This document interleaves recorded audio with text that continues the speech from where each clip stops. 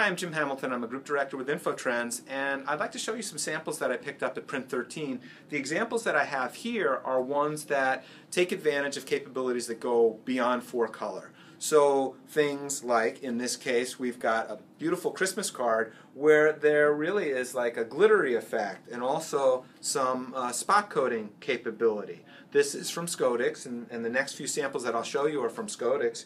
Here's a sample of a, a package, a Johnnie Walker uh, example, and you can see, again, uh, see how well this shows up on video, but there's a real nice dimensional clear coating in there, and then again in the bottle, which really brings it out nicely on that black background.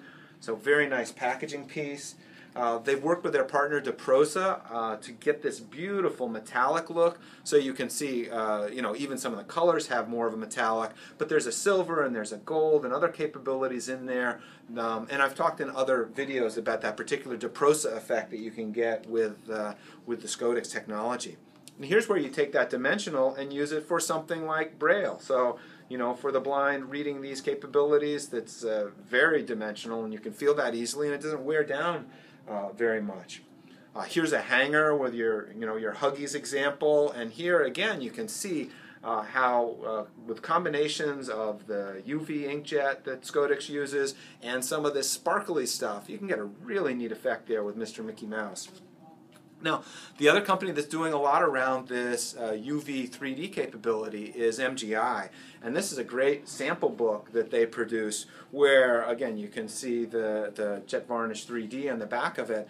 But, you know, all of these beautiful images with the bubbles and the, you know, the, the condensation on the uh, uh, you know, on the glass, the bright red lips. There's a great video actually that uh, Kevin Abergel did showing people this sample and their reaction to it because everybody reaches out first and they want to touch this sample. So uh, recommend having a look for if you can.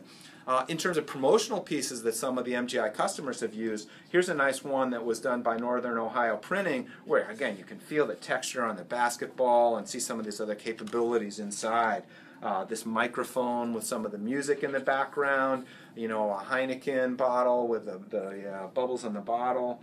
Um, here's one I particularly like. You know, you got a Cleveland Indian slugger there about to knock the ball out of the park, and you know the the ball explodes off there with a little bit of uh, uh, you know 3D uh, and spot color or spot uh, varnish capability.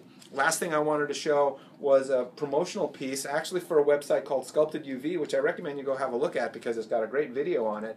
But here again, the texture on the elephant is very nice. All these pieces you want to pick up and feel, the gloss, all of them are beautiful. So some great examples there from Scodix and from MGI customers who are doing some fantastic kinds of things.